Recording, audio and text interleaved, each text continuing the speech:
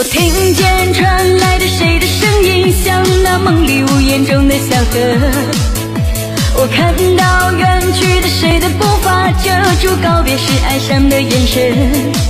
不明白的是，为何你情愿让风尘刻画你的样子，就像早已忘情的世界，曾经拥有你的名字，我的声音。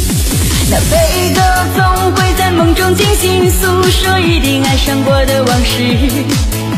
那看似满不在乎、转过身的，是风干泪眼后萧瑟的影子。不明白的是，为何人世间总不能溶解你的样子？是否来迟了明日的渊源，早已写了你的笑容，我的心情。